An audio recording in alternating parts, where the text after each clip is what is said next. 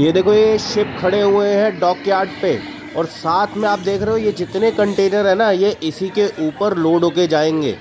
जो आपका ट्रक आएगा यहाँ पे कंटेनर को अनलोड करेगा। सामने देख रहे हो, ये ट्रक खड़ा हुआ है आपके सामने जो अनलोड करे स्टूडेंट्स ये जो जगह आप सामने देख रहे हो, यहाँ पे लिखा हुआ है स्मोकिंग इज़ प्रोहाइबिटेड क्यों लिखा हुआ है? क्योंकि यहाँ पे क्रूड ऑयल के जितने कंटेनर है, वो इम्पोर्ट किए गए हैं। सामने देख रहे हो कंटेनर अब देखो आपके सामने कंटेनर यहाँ पे डॉक यार्ड पे खड़े हुए हैं।